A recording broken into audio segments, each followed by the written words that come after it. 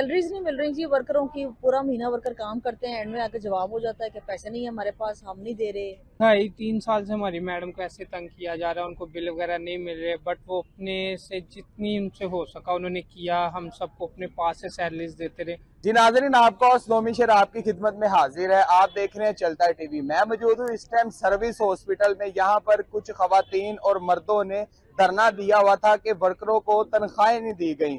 हमारे साथ कुछ खातन मौजूद हैं। उनसे बात करते हैं, पूछते हैं उनसे कि क्या मामला आता है मैडम, आप हमें बताएँ, ये जो आपने धरना दिया हुआ ये आपने क्यों दिया है? सैलरीज नहीं मिल रही जी वर्करों की। पूरा महीना वर्कर काम करते हैं। एंड में आकर जवाब हो जाता है कि पैसे नहीं है हमारे पास, हम नहीं दे रहे। इसी हालात की वजह से आके यहाँ बैठ गए हैं। दो महीने हो गए वर्करों को सैलरी नहीं मिली।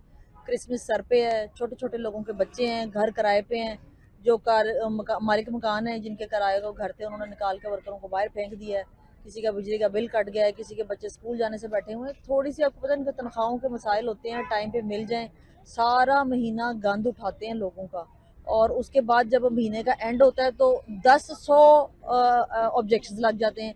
ये नहीं किया, जी वो नहीं किया, हर चीज़ हमने कंप्लीट करके दी है इनको, उसके बावजूद भी हमें बिल नहीं दे रहे।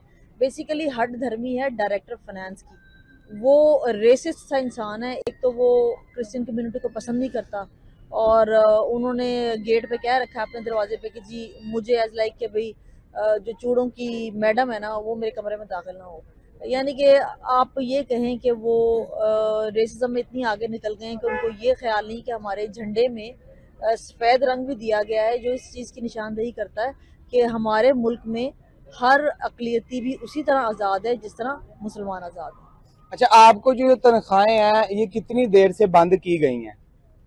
जी हमारी तकरीबन पौने पाँच करोड़ रुपया दो साल का है जो मुझे नहीं मिला। लेकिन मेरे से जितना भी हुआ मैं अपने वर्करों को पेमेंट करती रही लेकिन आपको पता है इस तरह से तो कुएँ भी खाली हो जाते हैं। पेमेंट अच्छा कोई आला उदरान अफसर या कोई आपके महकमे का कोई बड़ा इंचार्ज आपके पास आया बात करने के लिए? नहीं जी कोई भी नहीं आया। इतनी बेहिसी है इतनी बेहिसी है जब राउंड होते हैं ना हॉस्पिटल्स के और जब कोई वबाई अमराज फैल जाते हैं जैसे डेंगी हो गया कोरोना हो गया आप बिलीव करें कि कोरोना में लोगों के अपने प्यारे, किसी की माँ, किसी की बहन, किसी का भाई, किसी का बाप, इस तरह फौत हुए, वो अपने पेशेंट्स की बॉडीज़ को हाथ नहीं लगाते थे। और हम लोगों ने उस टाइम पे भी खड़े होकर उनको बॉडियाँ रिसीव भी कराई हैं और जितनी देर वो एडमिट रहते थे, उनके बहुत सारे काम किए उनकी गलाजत उठाई, उनके पैम्पर्स वगैरह चेंज किए, उनको खाना भी खिला दिया करते थे। जब बाकी लोग डरा करते थे ना उनके पास जाते हुए हम उनको मेडिसिन भी पकड़ा दिया करते थे।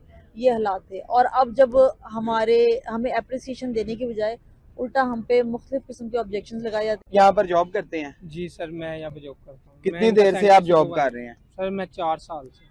चार साल से तो सैलरी के हवाले से पहले ठीक था? भाई तीन साल से हमारी मैडम को ऐसे तंग किया जा रहा है उनको बिल वगैरह नहीं मिल रहे बट वो अपने से जितनी उनसे हो सका उन्होंने किया हम सबको अपने पास से सैलरीज देते रहे।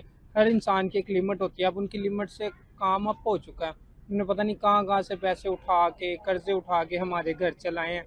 अब उनके पास नहीं है, वो कहाँ से चलाएँ? अब वो भी मजबूर हैं। तकरीबन पौने पाँच करोड़ रुपया हमारी मैडम का जो है कि वो डायरेक्टर फाइनेंस साहब साइन नहीं कर रहे पीछे दो साल से। जी नाजरीन, आपने देखा कि ये जो मजदूर तकबा है, वो कितना ही परेशान है। इनकी यहाँ पर दिल आजारी की जाती है, उल्टे सीधे अल्फाजों से पुकारा जाता है। जब एक मजदूर तकबा हमारे पास जॉब करता है, बगैर मुलाजमीन के हमारा कारोबार भी नहीं चलता। तो जो इनके हालात वाक़ थे, आपको बताए हैं, बाकी अब तक के लिए खुदा